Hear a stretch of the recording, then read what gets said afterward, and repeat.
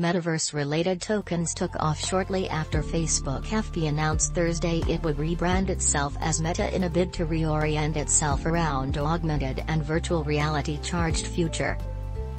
Half a dozen coins, including some of the largest like Mana, Ethereum token powering the Decentraland virtual reality platform, and Starl, a native asset of the namesake decentralized virtual space project, are up by more than 50% on the day.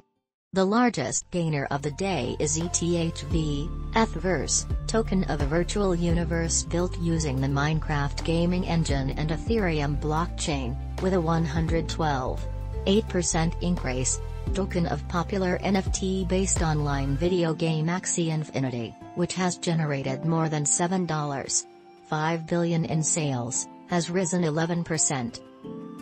The rebranding comes amid a barrage of reports related to the company's lack of control over the spread of misinformation and inflammatory content on its platform.